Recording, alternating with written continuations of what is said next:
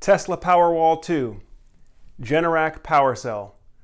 Which one is the best solar backup battery for your home? In today's video, we're going to be answering that question and a whole lot more.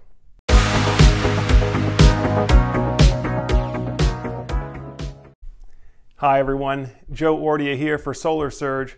And for the past eight years, I've been helping families get their homes set up to survive a loss of the electric grid.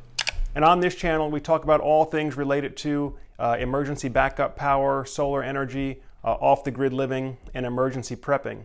And one of the things that we do with most of our projects is we use a solar power and battery backup system to protect the critical systems of the home so that day or night, rain or shine, those critical systems are never going to be without electricity. Now, over the years, I've had a chance to install probably a dozen different brands of uh, battery inverters and battery uh, storage devices. And today I'm going to be presenting a head-to-head -head comparison between two of the most popular battery products on the market today, the Tesla Powerwall 2 and the Generac PowerCell. Now, we're going to be evaluating each product in five categories.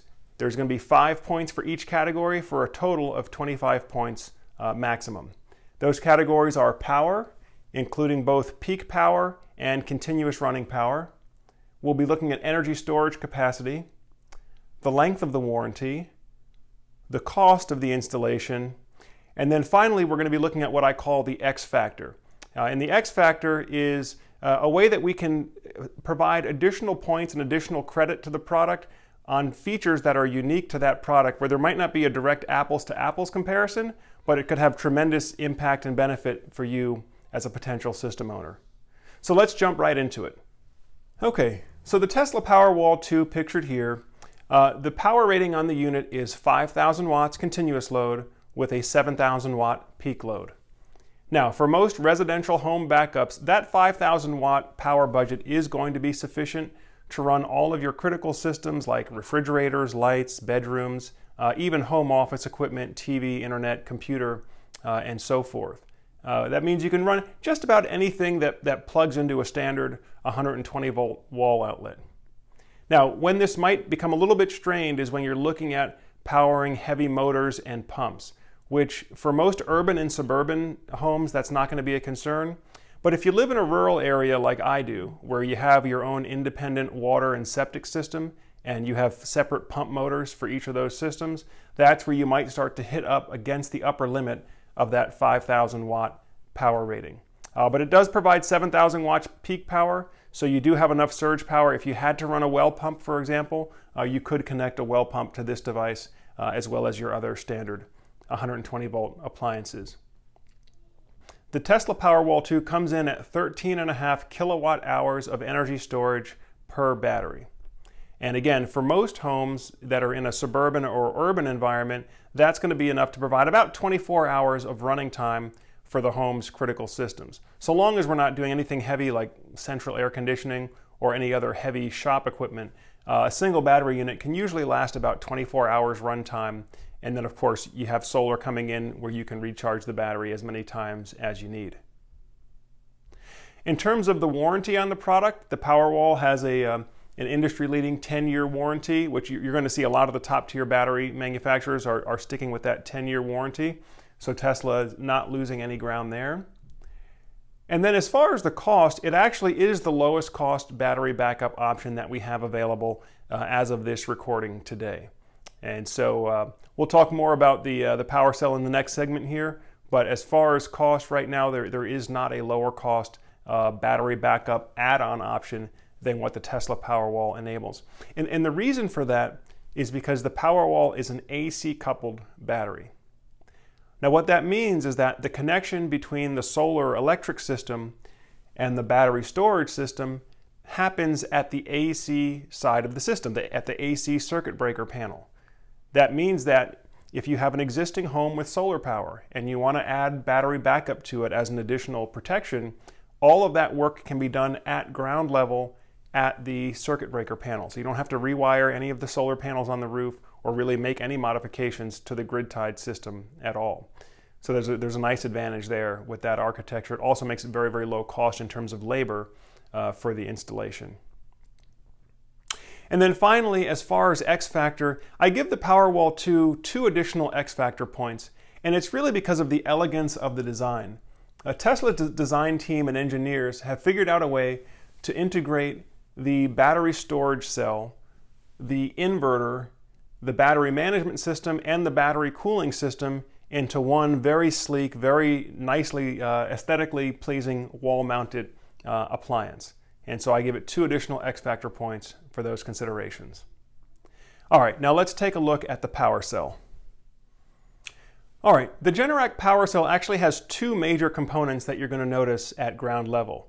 Um, you have the inverter component here, which is typically wall mounted in the garage somewhere close to your circuit breaker panel. And then you have the separate battery cabinet here.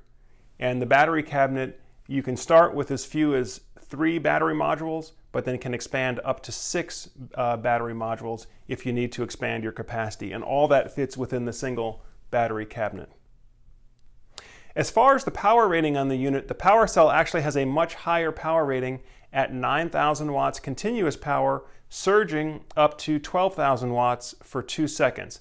And again, that surge power is what it, what it helps to get large motors started, uh, whether it be an air conditioning compressor, uh, a well pump, maybe a, a table saw, where you've got that huge inrush of power for a couple seconds just to get the motor started, and then it levels off to a lower draw. So with uh, 9,000 watt continuous and 12,000 watts peak power, that is a, that's a lot of capacity, which means that um, again, if you're a more rural, uh, a rural homeowner where you do have well pumps, sump pumps, septic pumps, or potentially even central air conditioning, the higher power rating is going to allow you to handle that. In terms of the storage capacity, the starting capacity starts at only 9 kilowatt hours of energy. However, it is very easy to expand by adding additional battery cells. So inside the, the cabinet here, there's actually six different lithium ion battery cells, and they're, they're made by Panasonic.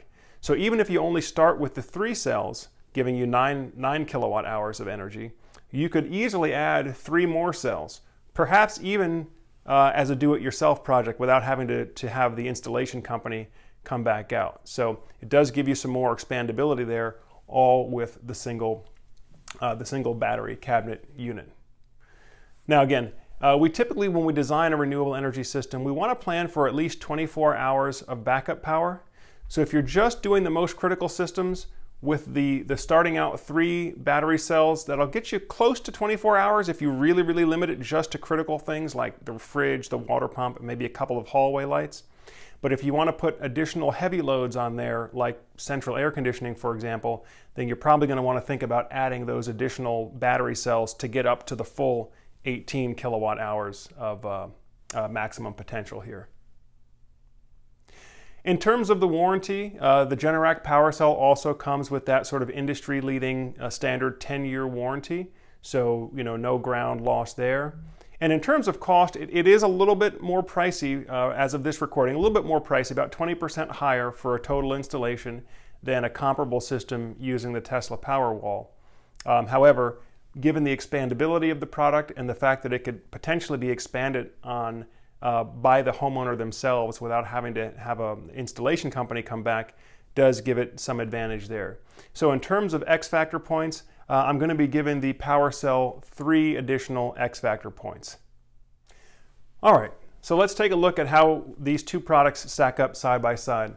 Uh, starting first with the Powerwall, you're looking at 5 kilowatts continuous power with 7 kilowatts peak power versus the Generac Power Cell offering 9 kilowatts continuous power, surging up to 12 kilowatts peak power. So clear advantage for the Power Cell here. In terms of power capacity, the Powerwall 2 comes in right in the middle of the range at 13.5 kilowatt hours, which again, for most homes, that's going to be adequate for 24 hours running time for critical systems only. The Power Cell starts off at only 9 kilowatt hours, but with easy options to upgrade and expand up to 18 kilowatt hours in that single battery cabinet. Both have a 10-year warranty, the Tesla Powerwall has a slight advantage with a slightly lower cost as of this recording. Now we'll see if that changes in the future. And then in terms of the X Factor points, Tesla wins two additional X Factor points because of the, the elegance and the beauty of the product design, whereas PowerCell receives three X Factor points because of its ease of expandability, uh, potentially by the, by the homeowner themselves. So as we total it up, uh, I'm going to award this a draw for the time being. And so I think the question that you really want to ask yourself is, based on your individual environment, which product makes the, more, the most sense for you? Uh, again, if you live in a, a typical suburban or urban area where you're in a neighborhood and you have access to public utilities for water and sewer, so you don't have all those heavy pump motors to worry about, then the Tesla Powerwall is probably going to be the better solution for you. It's a, it's a much smaller, much sleeker product that you can just hang on the wall in your garage, and that'll be enough to provide adequate backup power for homes living in that environment. However, if you live in more of a rural environment, like where I live here, where you have your own independent water and septic pumps to worry about, or if you potentially want to run heavier loads like central air conditioning systems, then that's where the Generac Power Cell may give you better performance because it just has that higher, higher um, load handling capacity and easily expandable to give you more energy storage capacity so you can run more loads overnight when the sun's not shining. So folks, I'm going to do this comparison again in the future as we've had more time to evaluate and more experience over the years to get feedback about these two products. But I'll tell you what, if you're getting good value from the information that we're putting out now, be sure to click on that like button and click on the subscribe button. And be sure to go ahead and share this video with anybody else that you think will benefit from the information here. Of course, if you're interested in, in, taking a look at either of these battery products to see if it would be a good fit for your home and get a plan to make sure we get all the uh, critical systems in your home protected, feel free to reach out to us on the link below or you can just post a comment to this video. Well, folks, I thank you for taking the time to watch this video today. As always, I'm Joe Ordia, encouraging you to get prepared and be empowered. Thanks for watching, and we'll see you again soon.